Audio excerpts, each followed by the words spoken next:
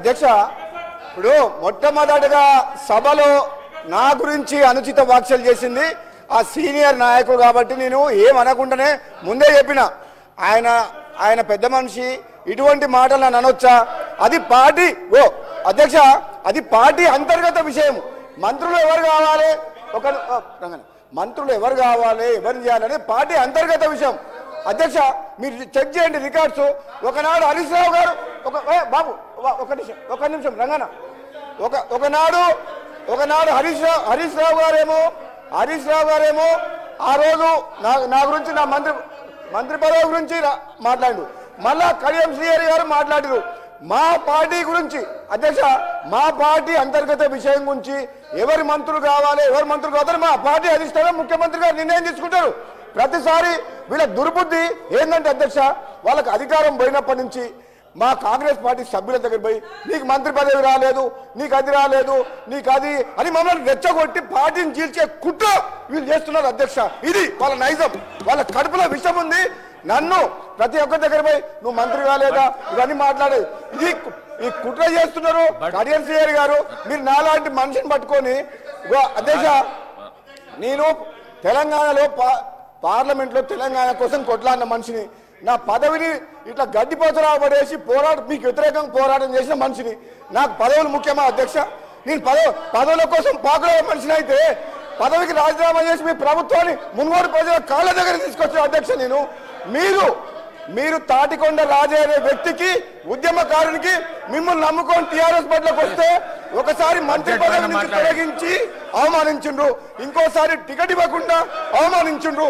అది కడియం శ్రీ గారి చరిత్ర అది. పచ్చకామర్లకు లోకమంతా మాట్లాడండి. అధ్యక్ష మా ముఖ్యమంత్రి గారు మా గవర్నమెంట్ కాంగ్రెస్ పార్టీ వంద సార్లు చెప్పిన అధ్యక్ష వంద సార్లు. ఏమని? ఈ ఆరు గ్యారెంటీల పథకాలు హామీలు విడతల వారీగా మేము అమలు చేస్తాము అని చెప్పినాం. అమలు చేస్తాము అని చెప్పి మా గవర్నమెంట్ కమిట్మెంట్ తోటి ఉన్నది. ఆల్రెడీ కొన్ని కొన్ని కమిట్మెంట్ ఫుల్ఫిల్ చేసింది. మీరు ప్రతిసారి అసెంబ్లీలో కానీ బయట కానీ అబద్ధాలు ఆడినరు. మీరు ఎప్పుడు చేస్తారు ఎప్పుడు చేస్తారు అని అన్నారు. మీరు వచ్చి రెండు నెలలు అయింది. మీరు పదేళ్ళ పాటు డబల్ బెడ్రూమ్ ఇల్లు కట్టిస్తున్నారు నిరుద్యోగ వృత్తిస్తున్నారు మూడు ఎకరాల స్థలం ఇస్తామన్నారు.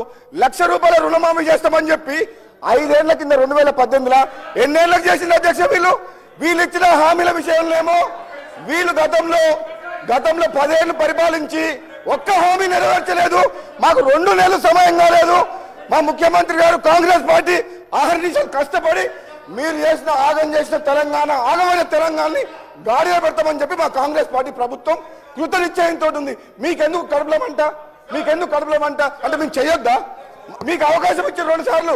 మీకు రెండు సార్లు అవకాశం ఇచ్చారు పదేళ్ళు పరిపాలించు మీరు విద్యని వైద్యని గాలి కొదిలేసిన మనుషులు నిరుద్యోగులని గాలి కొదిలే మోసం చేసిన మనుషులు నిరుపేదలకు ఇల్లు కట్టిస్తామని చెప్పి మోసం చేసిన మనుషులు రైతులని నిట్ట నిలువ ముంచిన మనుషులు ప్రాజెక్టుల మీద పేరు మీద రీడిజైన్ పేరు మీద కమిషన్ కోసం ప్రాజెక్టులు కట్టి దోసుకున్న చరిత్ర వీది మా ప్రభుత్వం తెలంగాణ ఇచ్చిన పార్టీ ఇది.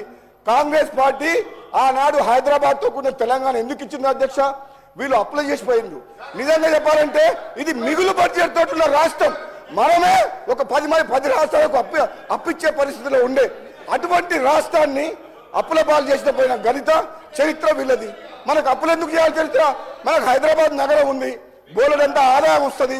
ఈ ఆదాయంతో తెలంగాణను అభివృద్ధి చేసుకోవచ్చు. వీళ్ళు స్వార్థం కోసం అప్పులు చేసి తెలంగాణ రాష్ట్రాన్ని అప్పులు చేసిండు. మళ్ళా మాకు ఈ రోజు ఏమంటున్నారు మీరు ఎట్లా చేస్తారో అంటారు. మేము ఇచ్చిన హామీలు ఎట్లా చేస్తారో అంటారు. మేము చేస్తాం మేము నిరూపిస్తాం. ప్రజలకు ఇచ్చిన మాట నెరవేరుస్తాం. ప్రజలకు ఇచ్చిన మాట నెరవేరుస్తాం. వీళ్ళు తట్టుకోలేరు అధ్యక్ష. వీళ్ళు తట్టుకోలేరు. మమ్మల్ని తట్టుకునే శక్తి వీళ్ళకి లేదు. దమ్ముంటే కేసీఆర్ని హౌస్లో రమ్మని చెప్పారు దమ్ముంటే మేము నిరూపిస్తాం. మా ముఖ్యమంత్రి గారు చెప్పిన ఇప్పుడు. నాయకు మీ నాయకుడిని రమ్మని చెప్పండి అని చెప్పి ముఖ్యమంత్రి గారు మొన్న నిన్న చెప్పిండు ఈ రోజు కూడా చెప్పిండు. ఆ దమ్ము లేదు పారిపోతున్నారు. పారిపోతున్నారు.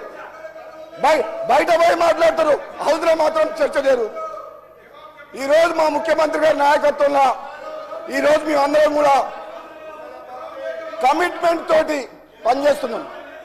ఒక శ్వేతపత్రం ఆర్థిక ఆర్థిక పరిస్థితి మీద శ్వేతపత్రం ఇచ్చినాం. కృష్ణా వాటర్ దోపిడీ మీద చర్చ చేసి ప్రజెంటేషన్ ఇచ్చినాం. గోదావరిలో మోసం జరుగుతుంది. మేడిగడ్డకు ముఖ్యమంత్రి గారి నాయకత్వంలో అందరం పోయి చూసి వచ్చినాం. అది జీర్ణించుకోలేక జీర్ణించుకోలేక ఇవన్నీ వాళ్ళు చేసే తప్పుల్ని ప్రజలకు తేట తెల్లంగా కళ్ళ కట్టేటట్టు చూపిస్తున్నాం కాబట్టి అది తట్టుకోలేక ఈ విధంగా మాకు వ్యక్తిగతంగా విమర్శలు చేస్తున్నారు అధ్యక్ష.